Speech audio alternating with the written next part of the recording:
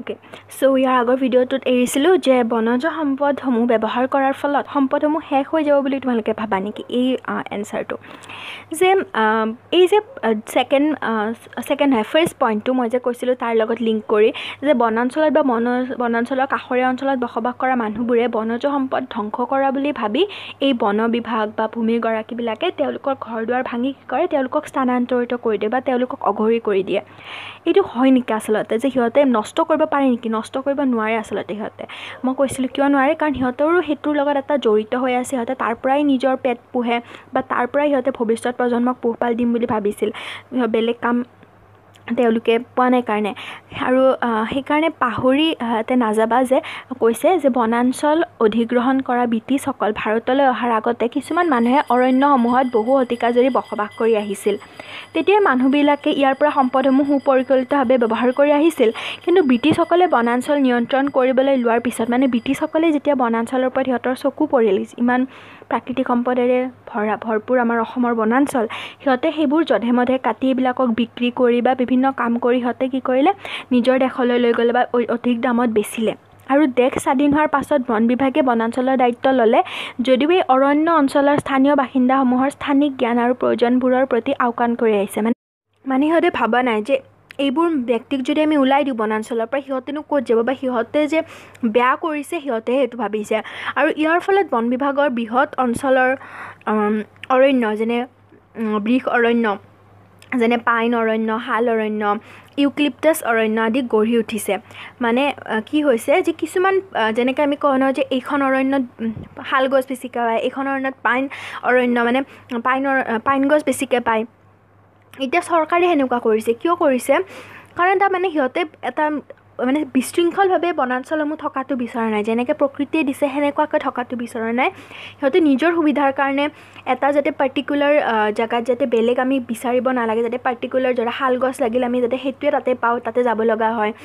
বা পাইন অৰণ্যত যাতে যদি লাগে তাতে যাওঁ। সেনেকৈ সিহঁতে কিছুমান ভাগ কৰি লৈছে। কিন্তু ইয়াৰ কাৰণে সিহঁতে প্ৰথমেতো যিবোৰ গছ আছে সেইবিলাকক উঘালিব লাগিব বা মুঠতে ধ্বংস কৰিব লাগিব। তাৰ ফলতহে এটা সেইবোৰ মানে এটা শৃংখলভাৱে সজাব পাৰিব। আৰু এই ধ্বংস কৰাৰ কাৰ্যৰ ফলত বহুতো স্থানিক জীৱও বৈচিত্ৰ্যও লুপ্ত হৈছিল। কাৰণ সেইখিনি সময়ত বনাঞ্চলসমূহতেতো সকলো চিৰিয়া মানে ধৰা চৰাই চিৰিকটি বা জীৱ জন্তু থাকে বিভিন্ন জৈৱ বৈচিত্ৰ পোক পতংগ বিভিন্ন বস্তু থাকে আৰু সেইবোৰ গছ গছনি ধ্বংস কৰাৰ পাছত ইমান বৃহৎ বাকী গছবোৰ ধ্বংস কৰি এটা নিৰ্দিষ্ট জেগাত মানে নিৰ্দিষ্ট ঠাইত লগোৱাৰ পাছত ইয়াৰ বহুত জৈৱ বৈচিত্ৰ লুপ্ত হৈছিল। ইয়াৰ উপৰি স্থানীয় বাসিন্দাবোৰৰ প্ৰয়োজনীয় সম্পদবোৰৰ যেনেকৈ ঘাঁহ গছৰ ঘাঁহৰ কাৰণে গছৰ পাত ঔষধৰ কাৰণে শাক বন খাদ্যৰ কাৰণে গছৰ ফল মূল আদি অৰণ্যৰ পৰা নোহোৱা হৈ গ'ল। আৰু বৃক্ষৰোপণৰ যোগেদি এইবোৰ উদ্ভিদৰ পৰা নিৰ্দিষ্ট কিছুমান দ্ৰৱৰ উৎপাদন ভিত্তিক উদ্যোগৰ প্ৰয়োজন আছে। আৰু বন বিভাগৰ ৰাজহৰ বাবে এইবোৰ অন্যতম উৎস। কিন্তু সিহঁতে এইবোৰ ভবাই নাই। এতিয়া উদ্যোগবোৰে কাৰ কাৰখানাৰ কেঁচা সামগ্ৰীৰ কাৰণে এই অৰণ্যবোৰৰ ওপৰতে নিৰ্ভৰ কৰি আহিছে। এক শ্ৰেণীৰ মানুহে এই কেঁচা সামগ্ৰীসমূহ কম হাৰত ক্ৰয় কৰি যথেষ্ট লাভান্বিত হৈছে। কাৰণ কিছুমান মানুহে তাৰ পৰা চোৰাং কৰি কেঁচা সামগ্ৰীবোৰ আনে কিন্তু কম হাৰতে মানে ক্ৰয় কৰে কিন্তু যথেষ্ট লাভত মানে বিক্ৰী কৰি দিয়ে। গতিকে স্থানীয় বাসিন্দাবোৰৰ তুলনাত উদ্যোগপতিবোৰ বেছি প্ৰভাৱশালী। সিহঁতে সিহঁতক মানে অলপ টকা দি লৈ আনে। কাৰণ স্থানীয় বাসিন্দা অজল মানে বহুত হোজা ব্যক্তি স্থানীয় বাসিন্দা মানে সিহঁতে হোজা বা সিহঁতে অশিক্ষিত বা কাম বন বেছি বিচাৰি পোৱা নাই নিজৰ জীৱন নিৰ্বাহৰ কাৰণে। সেইকাৰণেতো সিহঁতে তাতে স্থান লৈছে। সেই স্থানীয় ব্যক্তিবিলাকক সিহঁতে ভয় খুৱাই বা পইচাৰ দমত মানে সিহঁতে কি কৰে তাৰ পৰা বস্তুবোৰ আনে। আনি উঠি এই উদ্যোগবোৰ উদ্যোগপতিবিলাকে সিহঁতৰ তাৰ পৰা বেছি দামত বস্তুবোৰ বেচে কাৰণ কোনেওতো সুধিব নাই যে ক'ৰ পৰা আনিছে বা কিমান দামত আনিছে। সিহঁতে বহুত লাভান্বিত হৈ পৰে সিহঁতে মানে কি লয় সেইটো ফাইদা লয়। কিন্তু কোনো বিশেষ অৰণ্য অঞ্চলৰ বহন ক্ষমতাৰ প্ৰতি তেওঁলোক আগ্ৰহী নহয়। উদাহৰণস্বৰূপে কোনো অঞ্চলৰ সকলোবিলাক শালগছ কাটি পেলোৱাৰ পাছত শাল কাঠৰ বাবে তেওঁলোকে বহু আঁতৰৰ বনাঞ্চললৈ যাব। ভৱিষ্যত প্ৰজন্মৰ বাবে এইবোৰ সম্পদ ৰাহি কৰি পৰ্যাপ্ত পৰিমাণৰ সম্পদ আহৰণ কৰিব। লাগে বুলি তেওঁলোকৰ মানে কি নাথাকে কোনো ব্যৱসায়িক স্বাৰ্থ নাথাকে। স্থানীয় বাসিন্দাবোৰেও এনেধৰণে সম্পদসমূহ ব্যৱহাৰ নকৰিবলৈ কি ব্যৱস্থাই তেওঁলোকক নিবাৰণ কৰিব বুলি ভাবা? মানে কি কৈছে যে সিহঁতক পইচা লাগে সিহঁতে শাল গছ আনিছে বা যি গছ লাগে সেইবোৰ লৈ গৈছে তাৰ পৰা কিনি কিন্তু সিহঁতে এইটো ভবা নাই যে ভৱিষ্যত প্ৰজন্মত কি হ'ব? যে সিহঁতে যদি গোটেইবোৰ শালগছ তাৰ পৰা যদি কাটি লৈ আহে ভৱিষ্যত প্ৰজন্মটো কি হ'ব? সেইবোৰ সিহঁতৰ কোনো ব্যৱসায়িক মানে সিহঁতৰ স্বাৰ্থই নাই সেইবিলাকত। এতিয়া শেষত আমি প্ৰকৃতি আৰু বন্যপ্ৰেমীসকলৰ বিষয়ে আলোচনা মানে কৰোঁ যিটো ফ'ৰ্থ পইণ্ট আৰু প্ৰকৃতিৰ প্ৰেমী আৰু বন্যপ্ৰেমীসকলৰ জীৱনশৈলী অৰণ্যৰ পৰা নিৰ্ভৰশীল নহয়। কাৰণ সিহঁতে অৰণ্যৰ পৰা একো নিবিচাৰে বা অৰণ্যৰ পৰা সিহঁতে নিজৰ খাদ্য সিহঁতৰ জীৱন নিৰ্বাহ বা এইবোৰ স্থানীয় বাসিন্দাসকলৰ দৰে নিৰ্ভৰশীল নহয়। কিন্তু পৰিৱেশ ব্যৱস্থাপনাত তেখেতসকলে গুৰুত্বপূৰ্ণ ভূমিকা আগবঢ়াই আহিছে।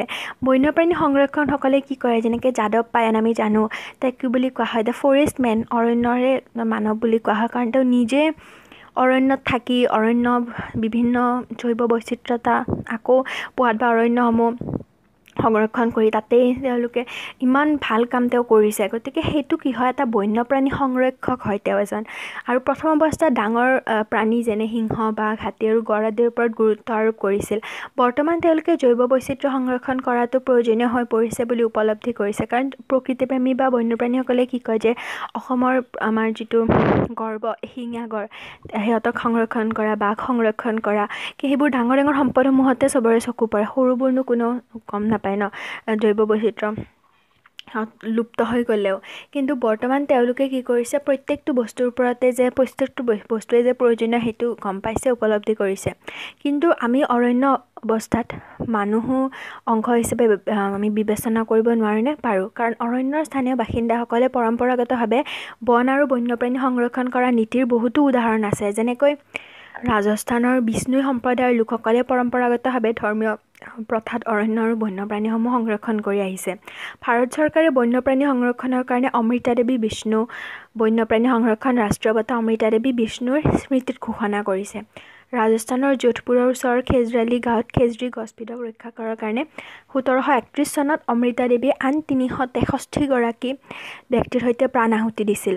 সিহঁতে ইমানেই প্ৰকৃতিপ্ৰেমী বা ইমানেই বন্য প্ৰেমী বন্য প্ৰাণী সংৰক্ষক সংৰক্ষক আছিলে যে তেওঁলোকে খেজৰী গছবিধক সেই খেজৰালি গাঁৱত খেজৰী গছবিধক ৰক্ষা মানে কৰিবৰ কাৰণে নিজৰ প্ৰাণকো তুচ্ছ কৰি আন তিনিশ তেষষ্ঠিগৰাকী ব্যক্তিৰ সৈতে প্ৰাণ আহুতি দিছিল।